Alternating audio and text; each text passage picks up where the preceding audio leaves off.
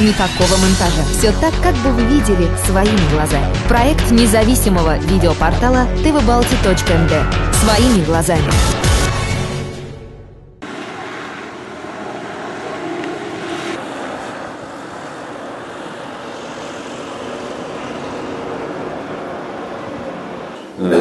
В эту ночь, в период стабильного снегопада, э, силами муниципальных предприятий ДРСУ и БИО с вечера, буквально с 8, э, с 20.00 э, часов, с 19.00 выведены и люди, и техника на ликвидацию последствий снегопада. За, за ночь расчищены практически, практически все основные улицы города. Э, большая часть э, тротуаров.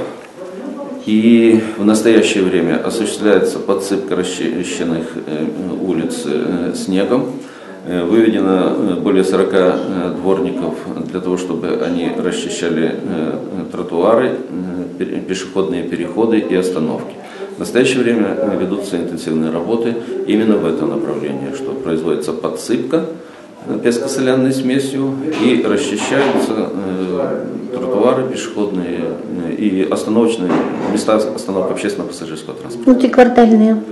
Внутриквартальным э, дорогам э, перейдем, наверное, во второй половине дня, потому что сейчас основная, основная задача э, обеспечить трафик по улицам муниципии, внутриквартальной территории во второй половине дня. Стоит э, такая задача перед ЖКХ, но основная задача сейчас сделать общие дороги.